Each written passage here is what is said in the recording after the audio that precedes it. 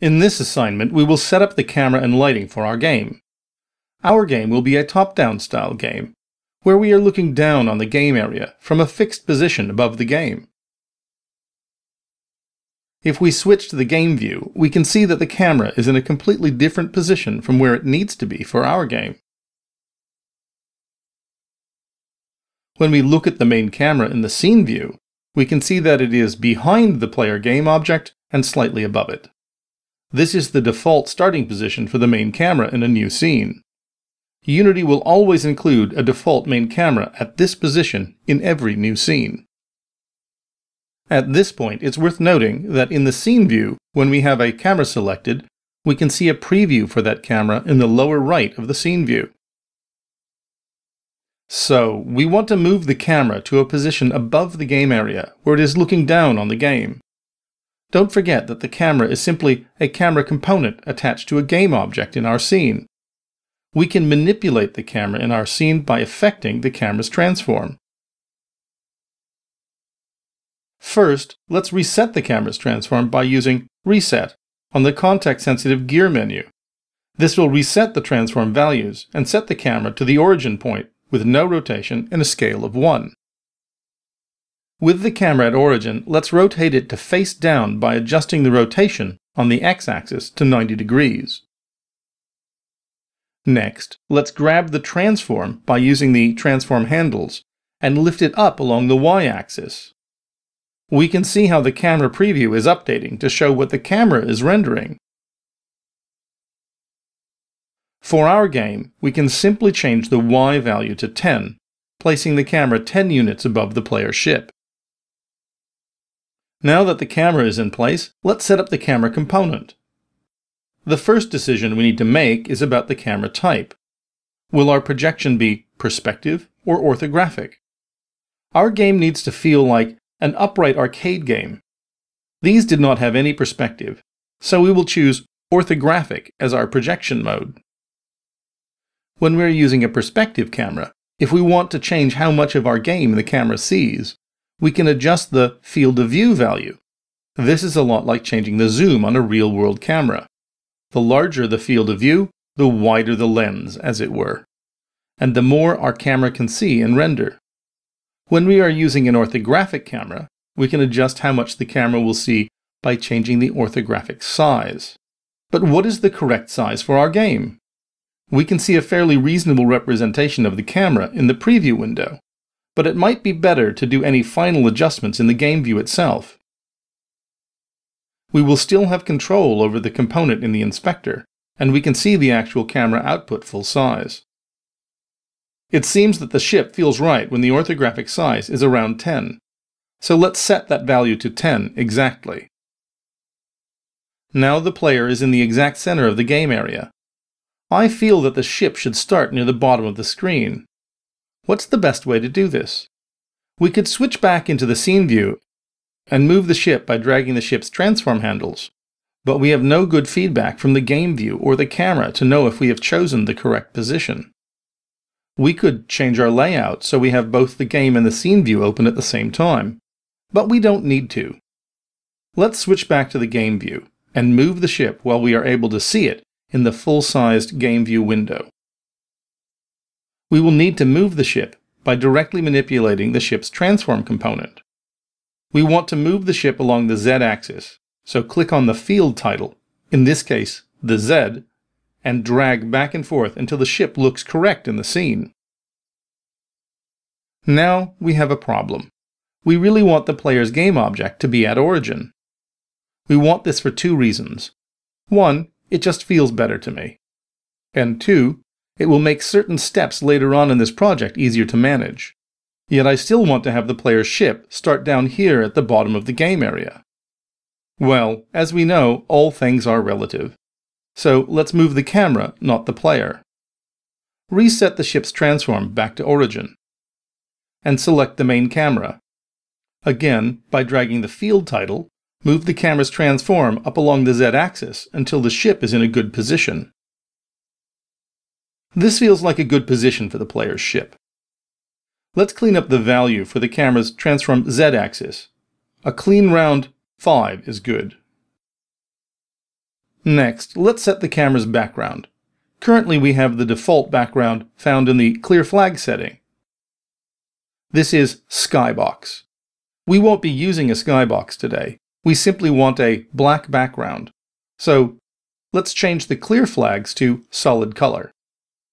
It's worth noting that if our clear flags is set to skybox, and we have no skybox assigned, clear flags will use the background color instead. This is why, even though we have skybox selected, we see the blue from the background color. Click on the color box. This will bring up a color picker. Let's make our background black. When we are done, we can close the color picker. We have no lights in this scene. Our background is black, yet we can still see our player ship. Why is that? If we go to Edit, Render Settings, we can see a property called Ambient Light. Ambient light is the light from no fixed point that lights all the surfaces in the scene. All new scenes have an ambient light set to 51, 51, 51. So every new scene has a very dim ambient light added to all objects in that scene. These values can be adjusted to add a general color or full white light to all objects in the scene. However, this light has no directionality and it can be very unflattering if used incorrectly. We will set our ambient light to black, effectively turning it off. Now let's light our scene. We will be creating a modified three-point lighting system for our game, with a main or key light, a fill light, and a rim light. These three lights will show off the shapes of our objects and give our game a good sense of atmosphere. Start by selecting Create Directional Light from the Create menu in the Hierarchy view. This will add a directional light to our scene. Rename this game object Main Light. Next, let's reset the light's position. This will set the light to origin. We won't see any change in the lighting, as directional lights light the entire scene based on their rotation, not their position. Switching back to the scene view will show us the light, and the gizmo will show us its orientation in the scene. Let's now reset the rotation as well, so we can have a clean set of values to start from. This is our main light, so it will be the brightest and most important. We need to see the light on the ship from our main camera, which is above the player. So let's tilt the main light down onto the scene, but not too much. We want to see the shape of the ship but not wash it out. That looks good. It's nearly at 20 degrees, so let's clean up that value to around 20 degrees down into the scene. Now let's rotate the light around on its y-axis and bring the light in from the side.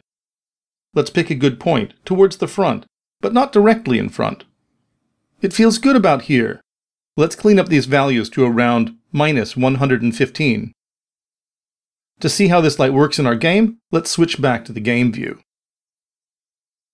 We want the main light to feel like the light from a nearby sun, so let's increase the intensity to 0.75. This gives a nice hot feeling to the right side of the ship. We could change the color, but let's leave the main light at white for now. This lighting might seem realistic for some deep space environment, but the other side of the ship is far too dark for this game. To light this side of the ship, we need another light. This will be our fill light to fill in the shadows on the far side. To build our fill light, duplicate the main light. Make sure the main light is selected, and then use Edit, Duplicate, or use the hotkey combination. Rename the duplicate Fill Light these two lights are now doubling up on the same surfaces as the lights add together.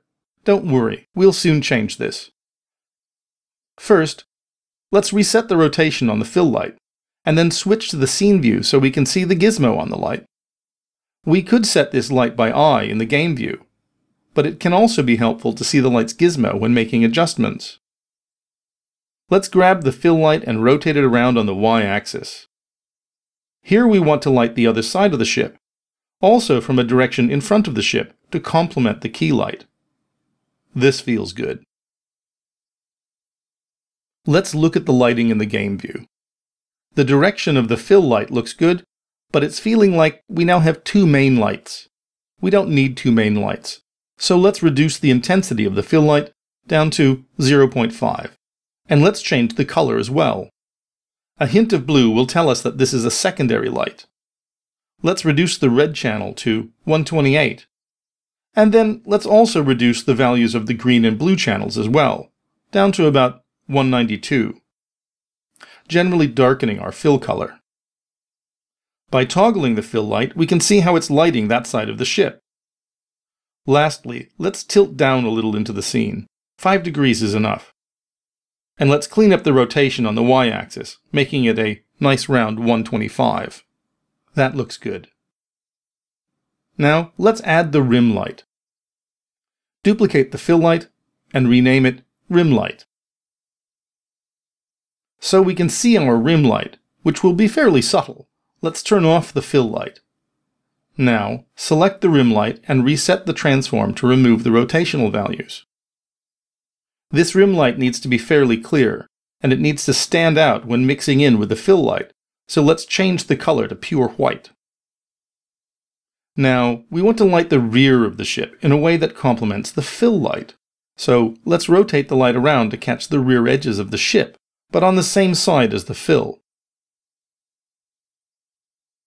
This looks good. Let's make this value a clean 65 degrees. This shows the edge well, but it's also acting now like a second fill light. This is mostly due to how much light spills onto the top of the ship. To fix this, let's rotate the light on the x-axis and come up from below. Now, this may seem counterintuitive, as we were looking down on the ship, but this will keep the light from shining on the top surface of the ship, and it will still catch the edges that we need to light. Minus 15 degrees seems fine.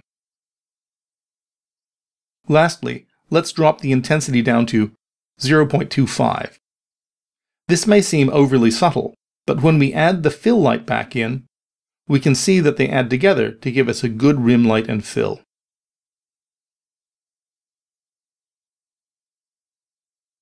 Now that we've added our lights to the hierarchy, they are sorted alphabetically and mixed in with all of the other game objects. This is not very well organized. If we look into our scene view and select our new lights, the gizmos appear right where we are working on top of our ship in the middle of the scene.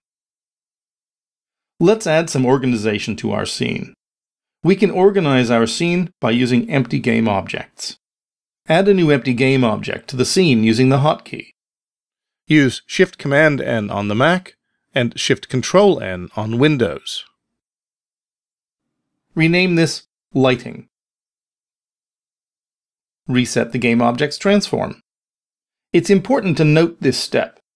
When we are using empty game objects to organize our hierarchy, those game objects should be at origin with no rotation and a scale of 1. This can be accomplished by simply resetting the transform component. Now that we've set up our lighting game object, we can drag our lights into it. This organizes our hierarchy and keeps our lights together.